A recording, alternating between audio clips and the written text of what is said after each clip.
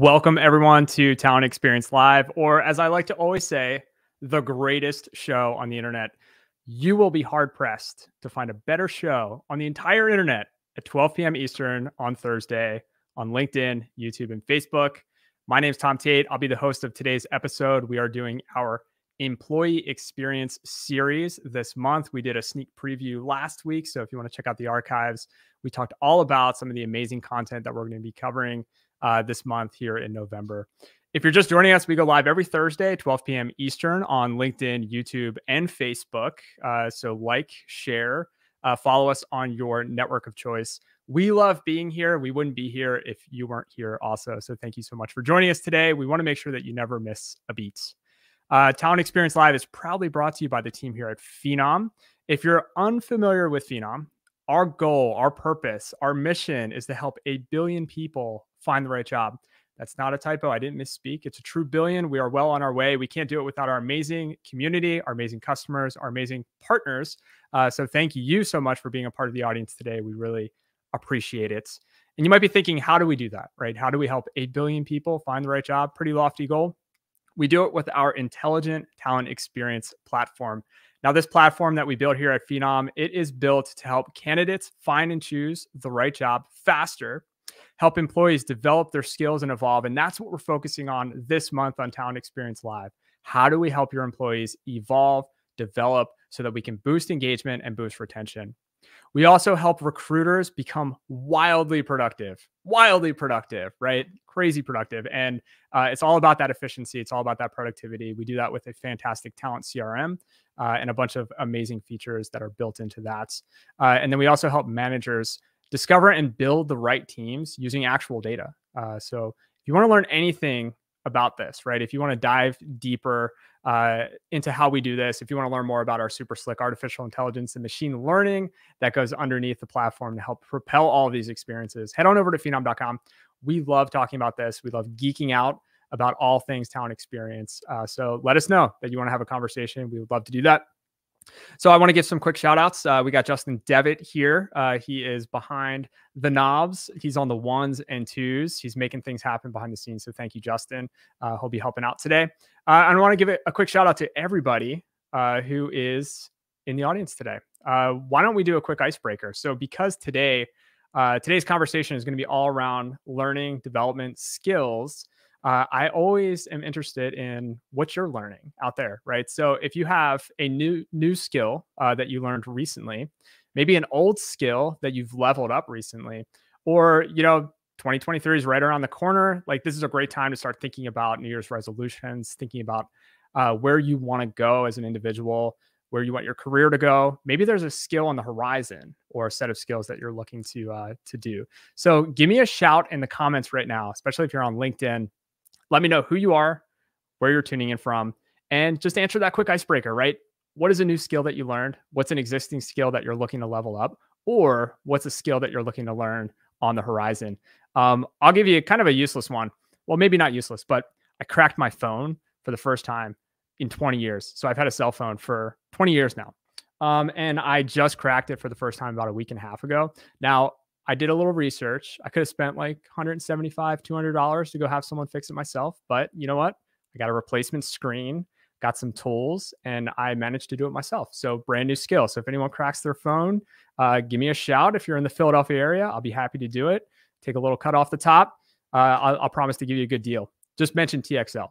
Um, so give me a shout in the comments. Let me know who you are, where you're from, and uh, you can give a quick uh, answer to that icebreaker question. So, again, today we're going to be talking all about learning, upskilling, employee engagement. Uh, we have an amazing episode today. Uh, we're living in a topsy turvy world. I don't need to tell you that. You already know it, right? So, if you think about what it takes to build a culture of learning in today's environment, when you think about all the macro and micro complexities that are happening in where we work, how we work, where we learn, how we learn, uh, it's very challenging, uh, very difficult, right? So there's a lot that goes into it. So we wanted to dive deep into learning and development. We wanted to learn what is the latest and greatest, what are the trends, what are the challenges today. So we turned to one of our best partners. Uh, so we reached out to Todd Tauber. Uh, Todd is the SVP of strategy at Degreed. Uh, and he's going to join us today to really break down his recent research on this topic, right? In this space. He's an expert in learning development. And he's going to share the four conditions that can help organizations build a learning culture that drives your employees and your business forward. So, without any further delay, let's run today's episode with Todd. Uh, it, this is a live episode, so we're going to do a pre-recorded clip today. Uh, me and Todd sat down and had an amazing conversation last week, so we're going to roll that clip. But this is live. I'm here. Give me a shout in the comments. I'll be in there too. Uh, if you have any questions for Todd or for us, let us know. Uh, we will definitely get those questions answered. So let's roll this clip. Uh, it's going to be a great episode.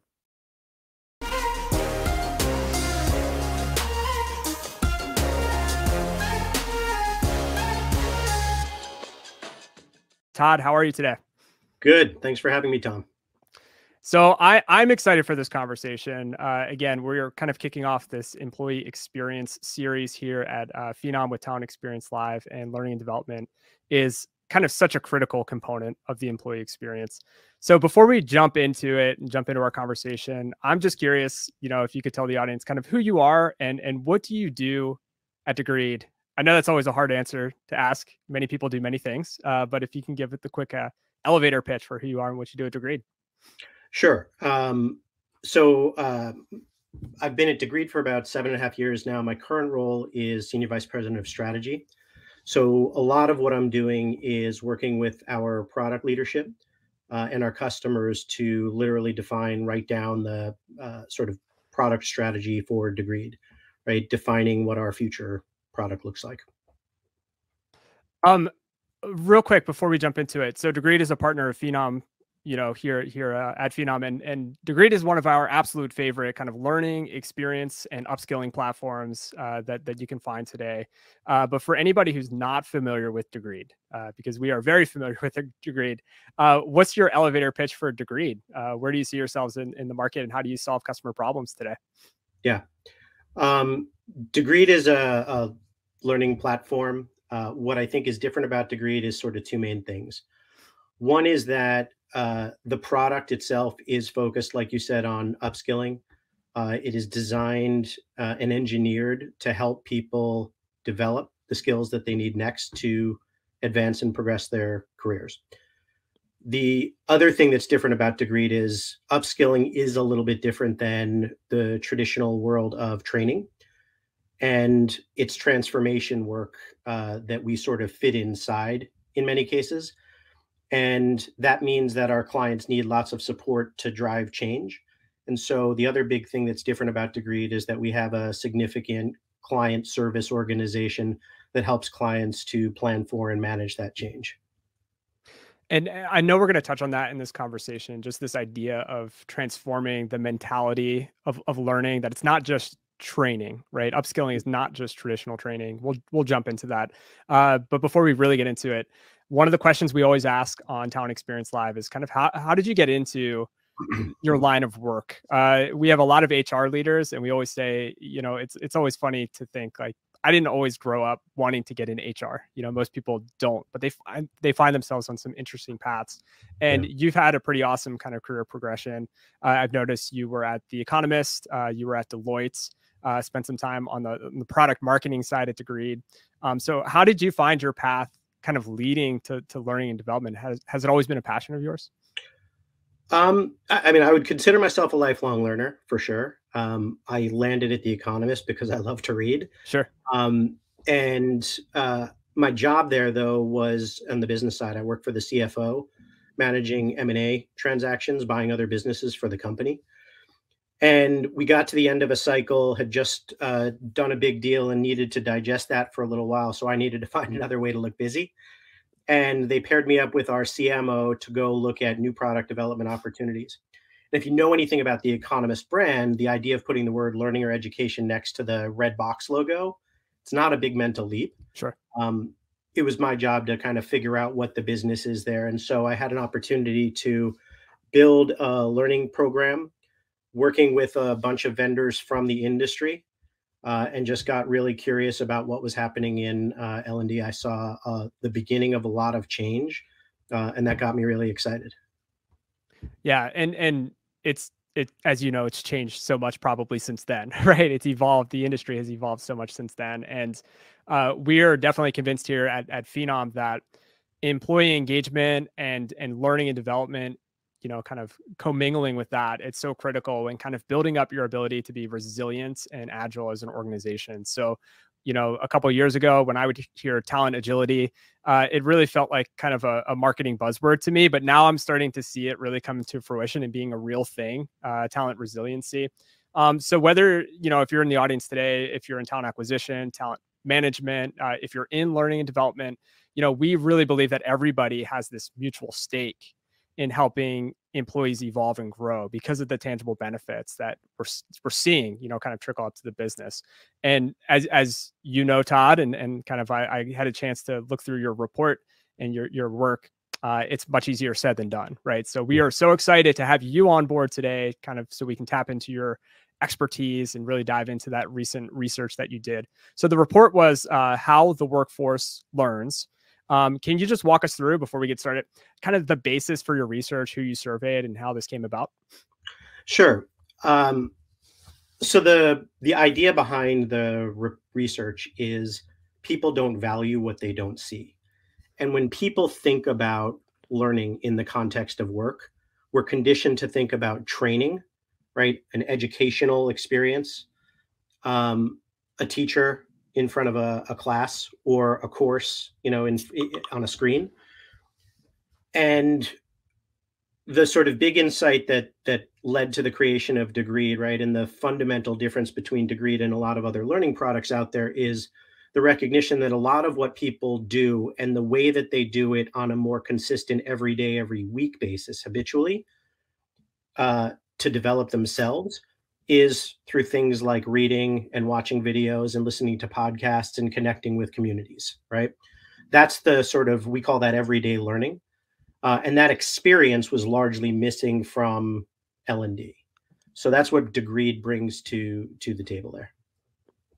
Yeah, and I, I love that kind of the idea of, of people don't value what they can't see. Um, there's a lot of conversation happening right now around skills technology and kind of this emerging you know category of everyone really diving deep into skills. Uh, do you think that push has been kind of birthed out of that? You know because a lot of it is is really around visibility right? Visibility of skills. Yeah for sure. So uh, you, by the way just to finish off answering your question the idea sure. behind the research yeah. is to help people understand the value of that kind of learning yeah. right? Because uh, learning and development teams like talent acquisition teams like talent management teams especially right now are always under pressure to do more with less, do it faster, do it better, do it cheaper, right? Um, and one of the ways that they're doing that is by uh, leaning on culture, right? They want to get more people to sort of self develop uh, organically as a way to build organizational culture and connections between people. But when we ask people to describe what they mean by culture, a learning culture, and to define what they're looking for in terms of benefits, they struggle a lot. So we do this research to better understand learning culture, right? Because the, the definition of the word culture literally is shared values and behaviors. So all we're really looking at is the shared values and behaviors around learning in at the workplace. Um, but so often when you think about the way training happens, um, that bottom up perspective is missing, right? You can't have a culture if you don't understand the people you're building, sharing the values and behaviors with. So that's what the research is really about. When you see companies kind of struggle to develop that that culture, um, those shared values around learning specifically, uh, do you see any like common themes around barriers that are keeping companies from really getting to where they want to be in terms of building that positive culture? There's three big ones that come sure. up all the time, right? Time, money, um, which are the obvious ones, but also mindsets. Yep. People are conditioned to think about training as the solution, and training is not always the solution. Sometimes it's performance support in the moment. Um, sometimes it's redesigning work or redesigning the organization, right? Um, there's other ways to sort of solve performance issues in the workplace.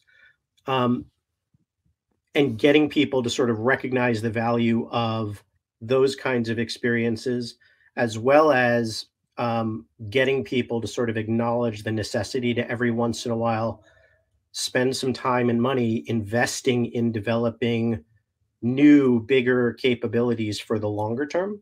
Sure. Um, right. Those are the sort of cultural mindsets we need to get around. Um, but a lot of it comes down to this conversation around culture, right? Because if we're not defining culture precisely, it's very hard to define for people the change you're trying to make. But if you can describe the culture in really precise terms, right, what are the behaviors that are positive and negative, um, then you can start to track your transformation. Sure. Yeah.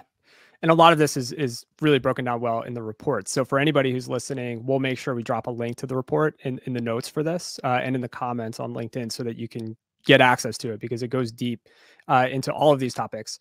Um, you know, you kind of mentioned time and money. Uh, you also mentioned thematically, right? Uh, doing more with less, finding ways to get the job done cheaper, faster, better. Uh, learning and having a positive learning culture can unlock a lot of this. But from a kind of more tangible perspective, you know, what does this look like? You know, cheaper, faster, better. What does that look like in the learning and development uh, space for, for you? Yeah, I think about it through the lens of the work that our customers yep. do. Sure. Right. Um, and so when it comes to the way that they do their jobs, they're spending more time looking for technology technology based solutions and putting together technology based solutions than they used to. And that means doing things like integrating systems and data. It means things like analyzing data and insights. It means um, curating experiences, not just creating and delivering content themselves right? And it also means creating connections between people and other people or opportunities. And so the job of, of our customers is getting stretched and they need new tools to do some of these new things. The other thing that it means is they're starting to share that load with others, right? With individuals through the sort of core value proposition of Degreed, empower people to sort of take more control of their development, but increasingly by collaborating with teams in operations so, for example, we have clients working with their DEIB teams to curate plans and pathways in Degreed to drive awareness of um, inclusion initiatives and things like that. From a product perspective, so my my my previous mentality around learning and development has always been training, right? Because that's kind of what I was indoctrinated with as an employee, right? And we had our learning development teams, and that's what they did, right? They brought in external trainers. They would come in. It would be either be in person or we get access to some online course or something like that, some certification. Um, and I think a lot of people still have that mentality, that feeling. Um, is there anything that you're doing in Degreed, you know, either you know, uh, from the uh, kind of uh, services perspective or the product perspective, to really break down that mentality and kind of help transform the thinking a bit uh, for your end users and for your customers? it's it's everything we do. It's our business. Absolutely, um, yeah. Our customers come to Degreed, right, and they choose Degreed instead of more traditional learning solutions. Sure. Because they want to change the way that their teams operate. Um, so it's a combination of product and service, right? It's creation and innovation around features that enable them to do some of these things in new and different ways. Um, the idea of building, you know, a playlist of learning that you do collaboratively with individuals or with subject experts you know at the same time is pretty novel right and our yeah. clients are finding a lot of speed and scale as a result of functionality like that at the same time they're trying to do new and different things that many of them haven't done before and so we have both a client service team for sort of the everyday um, needs and to help clients migrate from sort of our basic solutions to our more advanced solutions but then we also have a professional services team that goes uh, sort of step above, uh, helping out with things like change management strategies, um, staff augmentation, other things to sort of you know make the change happen. Yeah, yeah, and and I think a lot of it helps support the mindset shifts, right? You know, as as you're starting to build those shared values, build that culture, and in the study in the report, uh, what I really want to get into with you is is these four conditions, right? So you mapped out four specific conditions for creating a positive learning culture, And I wanted to quickly walk through these because I think you know if if anything, uh, if if you download the report, and I recommend everyone check it out. Um, all of these have key takeaways within them. Um, so the first condition uh, is learning is guided by opportunities, not just by requests, right? And I understood this as you know learning opportunities. Uh, really tying learning opportunities to in-demand skills, the things that are going to provide immediate benefit to the business and really solve immediate business problems. Um, is that did I get that right? and you know, can you break that one down for us? That's basically it in a nutshell, right? We're just yeah, trying sure. to be clever with copywriting. No, um, like the uh, but the the point there is this isn't the way that training and even L and D is sort of typically done, right? A lot of the budget, a lot of the time in learning and development functions goes into stuff that's programmed in advance right? We know we're going to hire 2,000 people next year, so we have to do onboarding. We know we need 500 extra leaders and managers every year, and so we have to run these programs, right? And that stuff consumes a huge chunk of the mind space as well as the organizational resources in learning in many organizations. Um, and so they rely on traditional approaches. In most cases, uh, other than onboarding and compliance, there's not a lot that reaches sort of everybody, right? Because beyond a bunch of major programs that we know are sort of high value, high leverage across the business, you know, leadership skills, communication skills, project management skills, things like that. There's not a lot, there's not a lot of commonality. There's a long tail of individualized needs. And that's where a solution like ours is is is useful sometimes but um, in order to get individuals to sort of take action and take learning on themselves in a productive way right not just randomly you know learning about things they're curious about but learning about things that they're curious about that can also have a benefit to the business we literally try to line up for them the learning resources to the opportunities yeah. And so the idea is to help them see what skills are in demand for opportunities, jobs, projects in your organization, um, and what are the learning opportunities that match that. Yeah. And I can imagine the necessity of that is only has only been amplified over the past couple of years and, and continues to be amplified when we think about uh, kind of the you know impending recession that everyone keeps talking about. But not just the recession and kind of the economic uh, elements but you know we even see too with you know organizations that make a pledge to go green by 2025 well what does that look like right? You might have to change you know manufacturing processes for thousands of people who will have to learn new skills they're going to have to adopt new skills in order for the business to meet that pledge right or the introduction of, of 5g technology or new technologies and all of a sudden you have thousands of employees that need to learn critical new skills to, to meet those needs. And sometimes they are planned, to your point. Sometimes they uh, they're not as planned, right? We're responding to changes that uh, are outside of many people's control. Um, so, have you seen that? Like, have you seen organizations really need to, uh, not from a desire to be proactive, but from necessity, shift to a more kind of uh, uh, forward thinking mindset you know with with how they're able to deploy training and 100% yeah i think um you know necessity is the mother of invention in this particular case because i've been in this business for like 15 years. I've been talking about this kind of shift to digital learning for a long time. But up until 2019 there were still a lot of companies doing a lot of training live in person.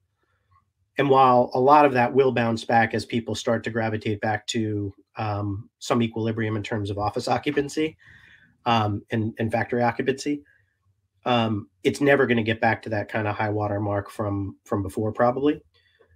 And so, um, what they're looking for is a way to sort of steer culture in a large sense to sort of build this pipeline of people that are ready for those big shifts um, you know, sort of in practice and learning fit for, you know, for change, have the foundational skills so that when those sudden changes happen, you know, suddenly two, three years ago, cybersecurity breaches start spiking and everybody wants the same, you know, pool of 50,000 people. Sure. Now we've got to figure out a way to, we, we can't hire all these people. Now we've got to figure out a way to, to build that pipeline. And I think that's the sort of ground level view of all of this chatter you hear about skills based talent management, skills based, you know, uh, HR. Sure. Yeah. Yeah, and, and this is where you know here at Phenom we love our partnership with Degreed because we have a lot of folks in our audience um, who are heavily invested in internal mobility and talent mobility, and and a lot of it has to do with those kind of on the fly shifts. You know, to we're opening a lot of new roles, and it is easier to source from within and upskill and more cost effective than to uh, go external uh, in many cases, right? And I think it's it's great to be able to see that kind of symbiotic relationship with internal sourcing and internal mobility and having all the tools available through the partnership you know to make sure um, that they're getting kind of the traditional learning the experiential learning and the upskilling that they need to kind of see that through.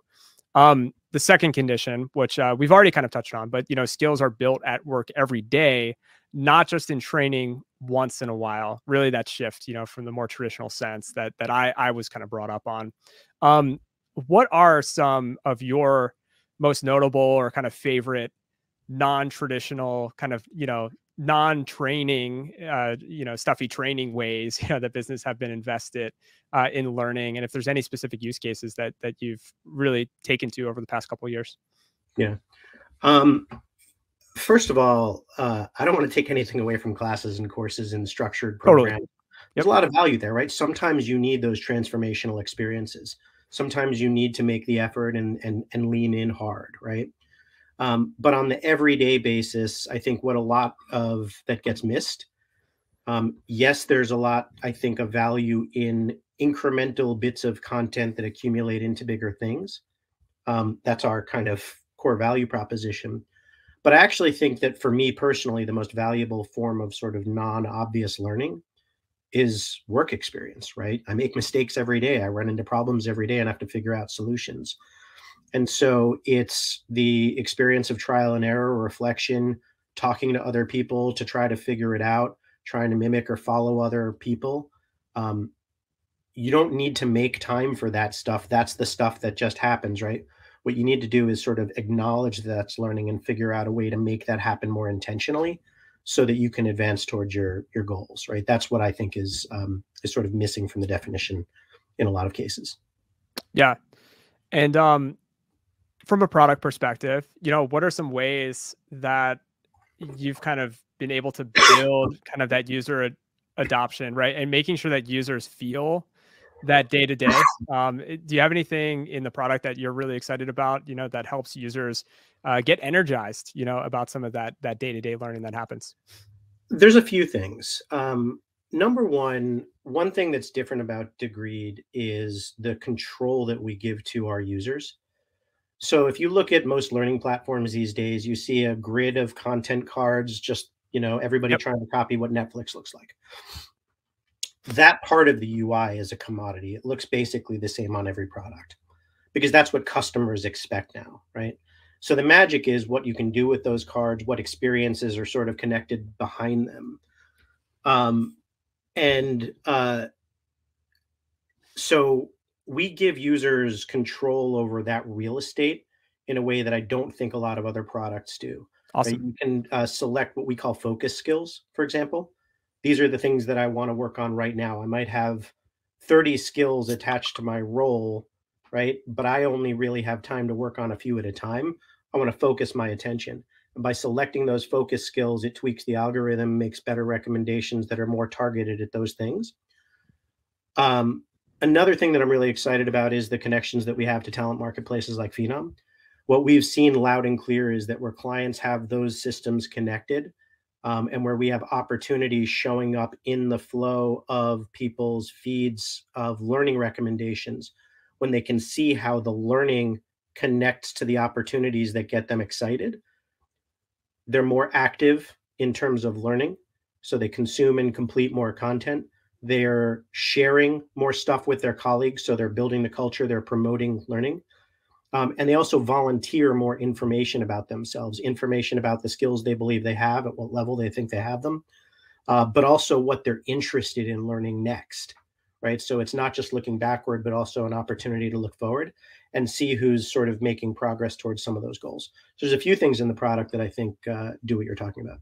Yeah, no, I I I love it, and it's great to be able to connect, connect those dots, right, and understand that when I acquire these skills, it, it's going to help me in a real tangible way, you know, and that could, and it's it's sometimes it's more than just kind of comp, you know, and more than just pay, and more than just recognition, right? It's just understanding how uh, these skills that I'm going to get from you know these folk these focus skills, you know, that I'm going to get from these Degreed uh, opportunities are going to push me in the direction that I'm trying to go in. And being able to visibly see that and kind of feel that, I think goes a long way for sure. So jumping into the third condition, uh, and I really appreciated this one, um, and I wanted to get your your thoughts on this. So it is developing people is everyone's job, not just L and D's job, right? And and again, kind of me going back to my own work experience, I've always thought about uh, team development and workforce development be, being housed with kind of that subset of the HR team, right? The learning and development team, and that was their job. Uh, and they would put together these programs to help us get to certain places. Um, and occasionally I would feel like my manager was somewhat invested, where my manager would kind of say, Hey, you know, if you see a course that you want to take, let me know. And, and we'll see if we have budget for that. Like that's kind of how the relationship has always been.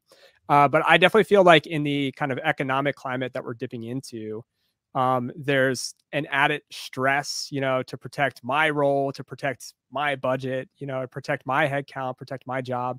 Um, and I, that's not going to fly, right? In a positive learning culture, right? I, I think that's going to only create a climate where we're not invested in each other's learning. So I think this idea of kind of being invested in team wide upskilling and reskilling it, it's going to have a positive benefit on the whole business. So I guess for all of the folks who aren't in learning and development who are listening today, how can we become better allies for the learning and development professionals and be more invested kind of in in everyone's development? Yeah, I mean, my understanding is your audience is primarily talent acquisition and talent management yep. folks. So, um, you know, and that's sort of the bookends for uh, a lot of the the learning for activity. Sure. Um, I think the common thread that runs through all three th- of those things is employer brand. Um, employer brand is everybody's job, just like building the the company's brand is is everybody's job, right? Um, but if you break it down um, into the sort of employee lifecycle model of attract, develop, retain, right? If you think about it, what does every job ad ever promise? Um, we're going to make you better off, right? We're going to grow your career. We're going to help you make money, grow your income, put you on the career path, right? Why do people take jobs? If you look at the McKinsey or the Gallup data, top five reasons, um, not explicitly about learning, but they're all about how learning can help you become better off, make more money, um, get access to better opportunities, et cetera. And then when you look at why people are leaving right now, the most recent data I've seen is the McKinsey survey. Um, same top five reasons, as the reasons people are choosing those jobs, right? So they're choosing jobs because they want to become better off, which is what we're promising. And when we don't deliver in some way, meaning, you know, meaningful to them, they leave, right? And it's it's that sure. 20% of people that's kind of consistently churning right now. So those three functions, I think, uh, talent acquisition, talent management, learning and development, all kind of own a piece of that problem together. But what I see is there's not a lot of collaboration across those functions in many organizations. Right. So I think it starts with just talking to colleagues and finding out what are you working on? What are we working on? Finding areas like that of shared ownership. Nobody right now needs one more thing to do. Sure. If your company is struggling with recruiting and you need, or your company is going to be going through layoffs and you need to bolster your employee brand, you should all be talking about how you can all contribute to the solution to that problem. Yeah, I really like the way you framed it, you know, kind of delivering on that promise, you know, that initial promise that every career site attempts to make, you know, of painting the picture of what your future will look like at X company. Yeah. Um, and I, I do think it's a good way to frame it for talent acquisition uh, professionals as well, because one of the things that we've seen over the past couple of years trending upwards that have been really effective at, at converting uh, job seekers and candidates is is employee testimonial videos on the career site right so when you can get employees talking about their experience positively and helping the candidates see themselves in the role, see themselves at the organization. Again, all employer branding, you know, as, as you mentioned, um, it's incredibly powerful. And and if you can get them specifically talking about the growth opportunities, the learning opportunities, the mentorships, you know, like I think those will go a long way, right? And they have to be authentic, you know. And if you can get them writing on Glassdoor and doing all the things that you know your employer branding folks want you want to see, uh, when they can incorporate, you know, uh, that your organization is invested in, in the growth and the evolution and the forward momentum of the employee, it goes such a long way. So I really like the way you frame that. I appreciate that. Um, the final condition uh, everybody can take on new challenges, not just somebody's. And I thought that again, like these last two, I really kind of gravitated towards. You know, at Phenom, uh, as I mentioned, we're heavily invested in internal mobility uh, and really doing it in such a way that equity and inclusion is built into the DNA, kind of in, is built into the into the process, and everybody has the same visibility uh, and access to new opportunities. And it seems like the stepping stone for this is really learning and development, right? Because it's it's more than just being able to see what opportunities are available to you. Uh, it's making sure that you have access to the opportunities to grow and evolve the skills that will make you qualified, right? To make that jump, to make that move. Yeah. Um, and are you seeing this too? Like, are you seeing learning and development professionals and kind of a learning and development space uh, really connecting the dots to career progression? Learning talent acquisition and talent management. Yeah all of them. Yep. Um, because i think what they're seeing is um, there's a couple of big differences like i said earlier between sort of the way we've thought about training historically and, and what we're talking about when we say upskilling today. One of them is we're starting to look forward not backwards like you described earlier right? Connecting it to opportunities not reacting to sure. problems. Um, you need to do both, right? But the balance is is a little bit different. Another one here is we're conditioned to think about um, the rewards for learning as either more money or a new job, right? And those are big jumps, right? And they happen, but they don't happen every day. And there's sort of well established psychological theory called the progress principle people continue to make progress and stay motivated when they see small gains consistently right? And so if you think about promotions new jobs um, major sort of milestones of recognition as the uh, risers on a staircase i think the learning is the the treads right? It's how sure. you get to the next level. Um, and the more learning you can have happening and the more intentional it can be and the better aligned it is with your strategy and your workforce strategy, um, the better, right? So the benefits that we're seeing are when clients are using Degreed, for example, with um, a talent marketplace, they're not just using it to connect people to jobs, they're also connecting people to other people for things like mentoring assignments. Sure. And when you talk to those people, right, different experiences have different benefits. But when you talk to the people that have gone through these mentoring experiences, what they're getting out of it is they feel more confident. They feel like they are gaining allies and sponsors. They're building out their network um, and their reputations, which are the things that help you get noticed and get through the sort of hurdles of those opportunities. Um, and as a result of that the organizations are seeing better retention and better engagement and things like that right yeah. it's because people are feeling those incremental gains those are good enough too not always right and, and every now and then people expect the big cupcake at the end of the carrots sure. but um but the idea is that you want to start thinking about yeah. progress more incrementally yeah, no, I, I I love that, and I love the visual of the cupcake at the end of the carrot. I might steal that for, for uh, future use, Todd. Um, so we have a few last you know final questions as we start to wrap things up uh, really appreciate you know all your insights so far uh, and again as a reminder if you're just tuning in um, a lot of this is covered in a report uh, that Degreed puts out annually, right? You started, I, I believe I saw Every one all the way years. back to 2019. Yeah. Okay. Uh, yeah. Awesome. The first one was 2016, actually. So this was the third one. Great. Awesome. Yeah. So uh, the latest, uh, we will put a link in the notes here uh, so that you can check that out. If you're on LinkedIn live, uh, we'll put a link in the comments. So you can check that out as well. Um, just a few quick questions. So, Todd, you mentioned you know you've been in this this uh, space for about 15 years.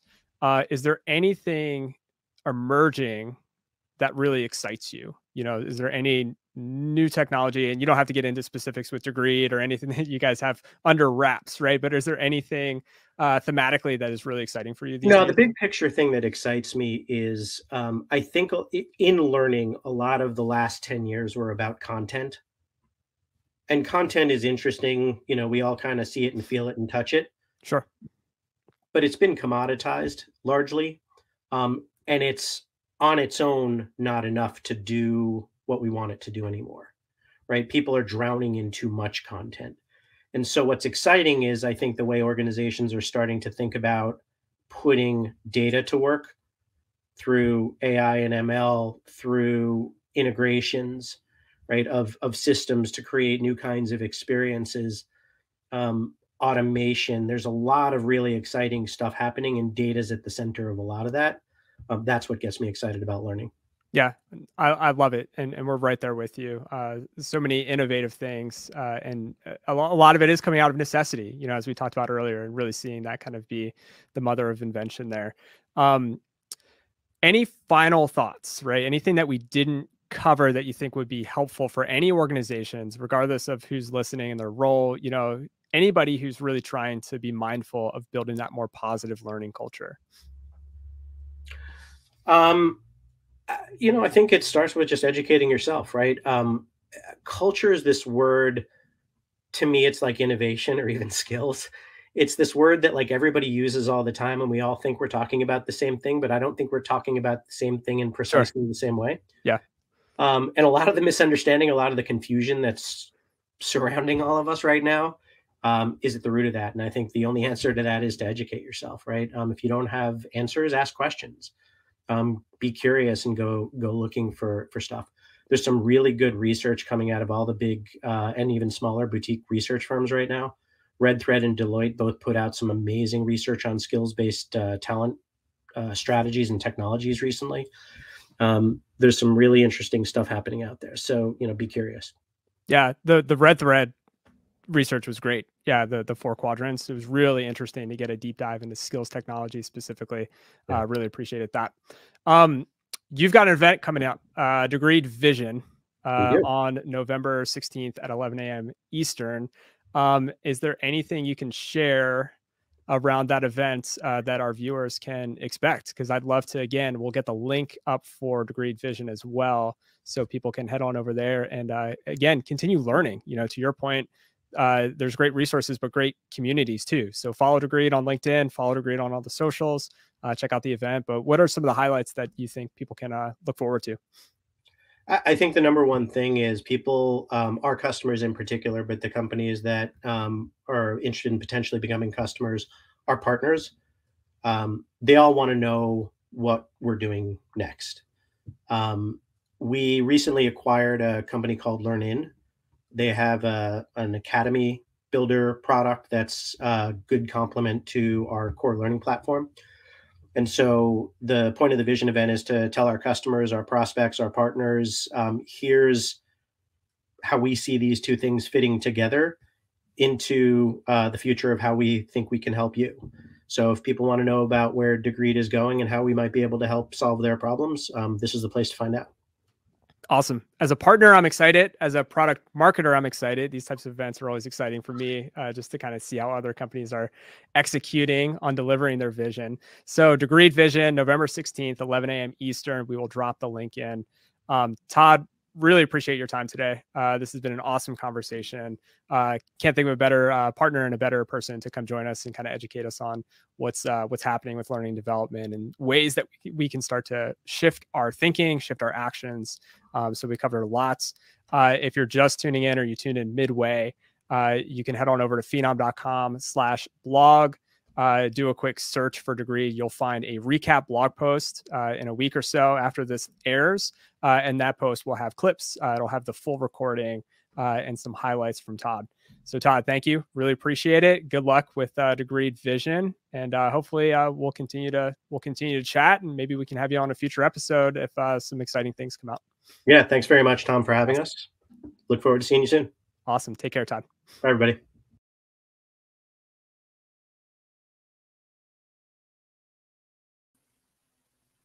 Awesome. Well, once again, that was Todd Tauber, SVP at Degreed, breaking down uh, how to build a positive learning culture uh, at your organization. Amazing conversation with Todd. Want to give a shout out to Todd and Degreed. Uh, really appreciate uh, their time kind of coming on board and, and kind of dropping some of that knowledge there, some of Todd's expertise. Uh, as mentioned in the episode, uh, they do have an event coming up, uh, Degreed Vision. So we will drop the link in the comments here uh, in just a bit so that you can check out that event. Uh, we also have a couple of blog posts from Degreed uh, that showcase the research that we discussed. So we'll drop the links in there too. Uh, on the Phenom side, we have a lot of exciting stuff coming up as well too. So we're going to continue our employee experience series uh, for Talent Experience Live throughout the month. Next week, uh, we have Jorge Gazada. Uh, Jorge is the VP of People and Culture at Granite Construction, uh, doing some amazing things there, uh, fostering diversity, equity, inclusion, and belonging. And he's going to talk uh, all about how we can really plant the seeds, how we can really get started, being very intentional with inclusion at our organizations. Uh, so that's going to be a great conversation next Thursday at 12 p.m. Eastern, right here on LinkedIn, Facebook, or YouTube. Make sure you subscribe so that you can catch up with us and uh, be a part of that conversation next week. The following week, uh, not on Thursday, which is Thanksgiving here in the US, but on Tuesday, we have a very special event. Uh, so this is going to be called Experience Phenom Talent Marketplace. We're going to be having some of our phenoms here uh, on the strategy side and on the product side really break down some of the innovative solutions that we've been building here at Phenom to help you engage, develop, and retain your employees. So we're going to dive deep into the product. So if you're interested uh, in what we're doing here at Phenom, uh, you're not going to want to miss this. Uh, so we will put the link in the comments for that as well. We'd love to have everyone joining us for Experience Phenom Talent Marketplace on uh, Tuesday, November 22nd. Uh, so that's going to be about a 90 minute event. But if you subscribe, if you subscribe, you'll be able to watch uh, on demand. Uh, but I want to thank you so much for joining this episode. Uh, we will have a blog recap with uh, a lot of the clips, a lot of the highlights, and all of the links uh, in the show notes for that recap uh, coming up soon on phenom.com. So thank you so much for your time, your attention, your comments. I saw Devin Foster, my co conspirator here on Down Experience Live, chiming in on the comments, loving this episode as well, too. So hope you enjoyed this one, and we will catch you on the next one.